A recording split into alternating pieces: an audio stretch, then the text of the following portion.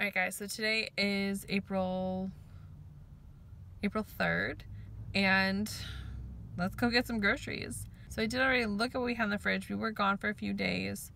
Um, just see what we have, what we have to use up, what little things we might need at Kroger. I'm hoping that I'll go today and I won't need to go for a few days, but let's see what I can find. When I go to my local Kroger, I always check their clearance sections. They'll have canned goods, some like basic household products, but always look for those reduced stickers. It's normally about 50% off, and in this case, it was the same price as their regular eggs.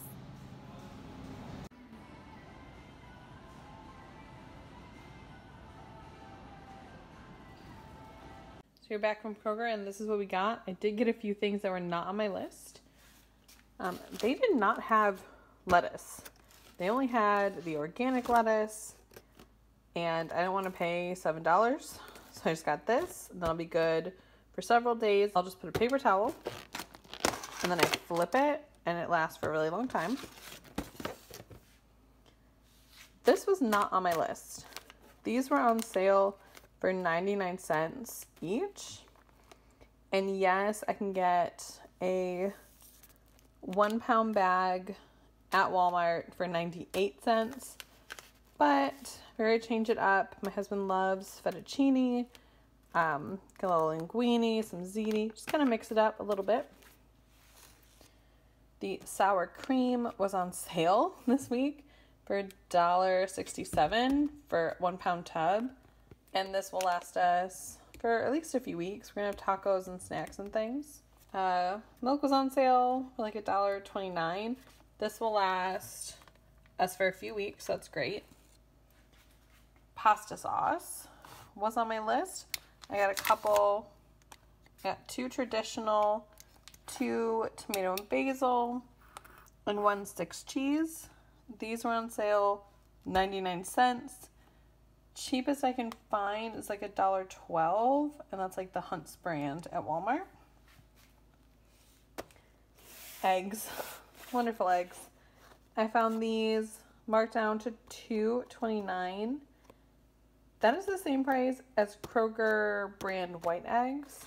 I did check; these are all good.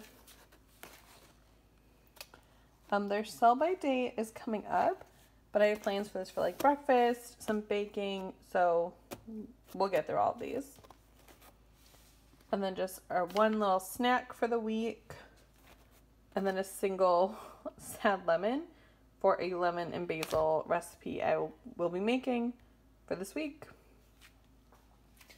Oh, so this all together after coupons and sales, this was $30. All right, so today is April 8th and I went to three different stores. Start off at Aldi, which is some bread, chips, some salad dressing, a little bit of radishes, grits for breakfast, milk, pretzels, and a quick stop at Costco. I just got some little nuggets, some hot dogs. And Then I tried out a new store. It's called Gordon Foods. It's kind of like a Costco, but I got some bacon. They Did a great price on lettuce, some lemons for dinner this week, and then just one single banana. I don't know how much this cost together, but I'll put those prices up on the screen. Today is April 8th, and I did a quick trip to the Dollar Tree.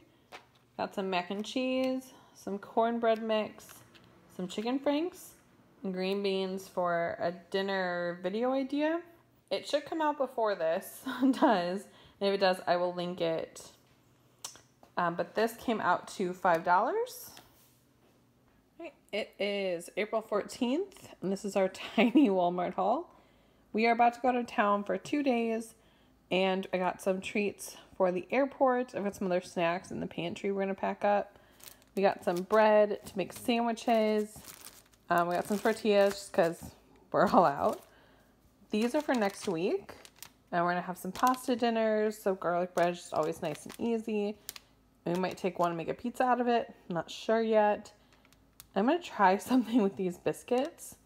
So I've seen things where people take chicken pot pie mix and put biscuits on top.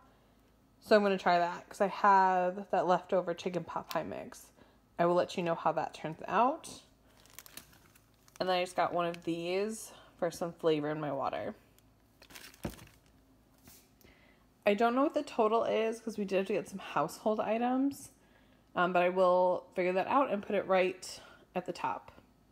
All right, today is April 22nd and we did a really quick Walmart grocery haul. Just got some yogurt and some bread. I found these zero carb tortillas and they had dollar off coupons on it, so it made it cheaper than the generic. We're gonna do some sandwiches this week, so we just got some chips to go with those. And I'm gonna make some more lemon basil chicken, so definitely need more lemons. I got, got this just for a little snack for my son. Got some carrots for salads and some more lettuce. This has gone up almost like a dollar at my Walmart. We are all out of feta cheese, so I got the big one. It lasts forever. Some ham for the sandwiches. Banana for my son's breakfast tomorrow. Hot dogs for really easy lunch or dinners. And then I got myself and my husband some Diet Pepsis. I'm not sure what the total for all this was because we got some household items with it too, but I will put that total up at the top. Today is April 27th, and this cost $43. Went and got some bread, all out of chocolate syrup, some milk, and some heavy whipping cream. To get ourselves some Diet Pepsi.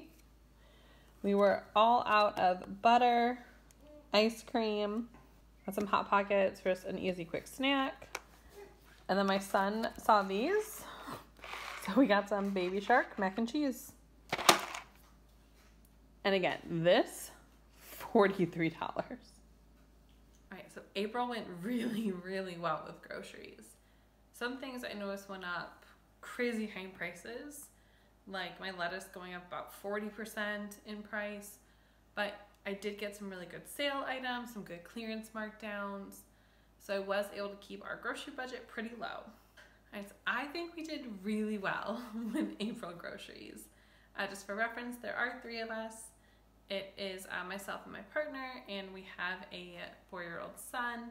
So for the month of April, we spent $218 on groceries.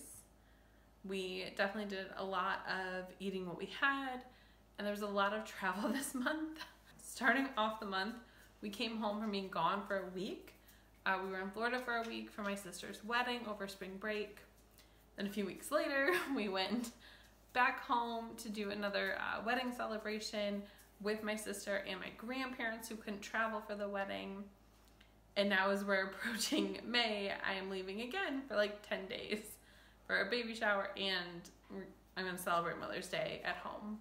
So you see, there's lots of travel and I'm going to be making a video soon kind of showing how I plan everything, which I think really helps keep our grocery budget as low as you saw. Um, so I want to thank you guys for joining me today. If you like this kind of content, give this video a thumbs up. Go ahead and subscribe. Um, thank you to everyone who has so far. It means so much to me, you have no idea. And I will see you all in the next one. Bye.